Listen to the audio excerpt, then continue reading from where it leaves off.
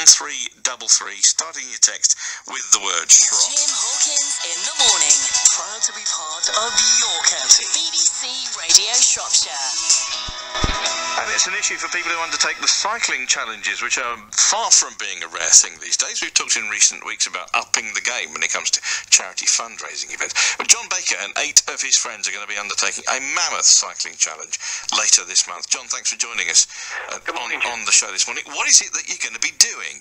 Uh, right, well, um, we're going to be riding from the Austrian border in the north of Italy, uh, so in the Alps, to Reggio Calabria on the southern tip, the actual toe of Italy, if you look at the map.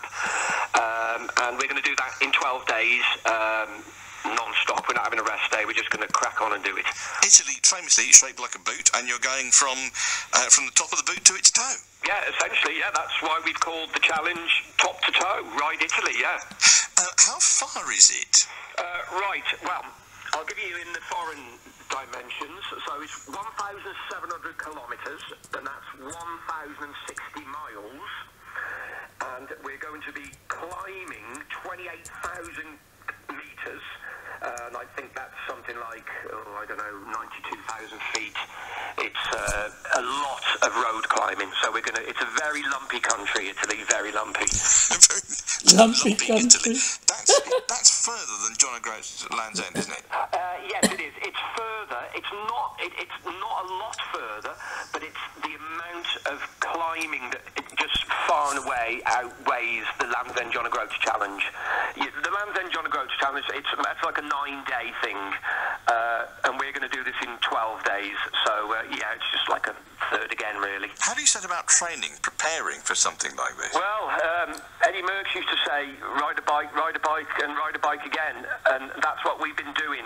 We've just been going out on 100 mile road rides. Uh, groups of us, all the lads involved, we'll set off from Shrewsbury, we'll ride to Bala and then come back via Lake Vyrnwy, we'll head into South Shropshire because South Shropshire's really hilly and really just do loads and loads of hilly road rides to get used to doing 100 miles in the saddle. So there's uh, there's nine of you doing this. Um, how many of you done something like this before, if any? Uh, right. Well, the guy whose who, whose idea this was, Tim Morris, he did uh, Land's End John O'Groats three years ago with two other guys who were on this ride. Right. And Tim is a, a cancer survivor, and this is the reason why we're doing it uh, to raise funds for Cancer Research UK. Um, and was that was that um, what made what made Tim do uh, do Land's End John O'Groats, or vice versa? Well, he, he, was, he was diagnosed with tongue cancer, uh, I I think, three years ago in his late 30s, and he was successfully treated and he's had the all clear. Uh, and he just wanted to give something back to the cancer charities that are, you know, are, are tirelessly working to try and find a cure for the, for the disease. And there's, there's hardly any families in the UK that have not been touched by cancer one way or another. Uh, so I'm guessing that must that must also be true to an extent for uh, uh, for the for the other eight of you too. Well, yes, exactly. I mean, uh, as you say, it's it's one of the it affects a lot of people, not just in Britain but around the world. And Cancer Research is the biggest worldwide charity to find a cure. So they're not just trying to find a cure for British folks. They share their information with other cancer charities around the world. And my my personal reason for doing this is because of my sister. She's uh, she's had cancer four times in ten years. I know, yeah, flaming hell. Um, and she's now on her is secondary, which, uh, as a lot of people know, which is which is more dangerous.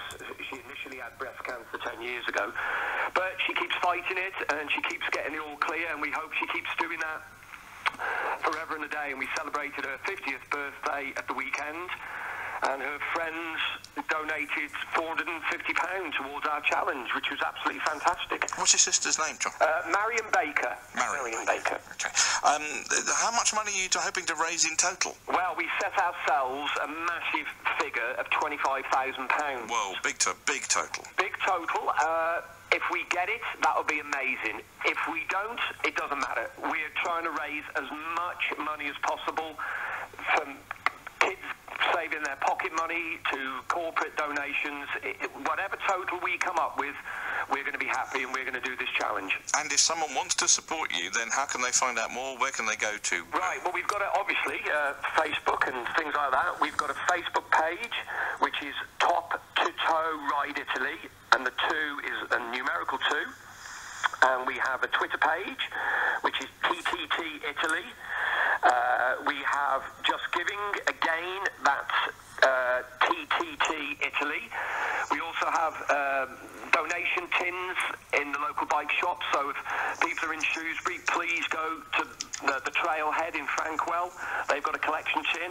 Or go to Dave Mellors. They will gladly accept the donations as these shops uh, are sponsoring our ride with equipment and, and, and other, other things. So, you know, these guys are helping us out because it's, you know, we're taking 12 days off work.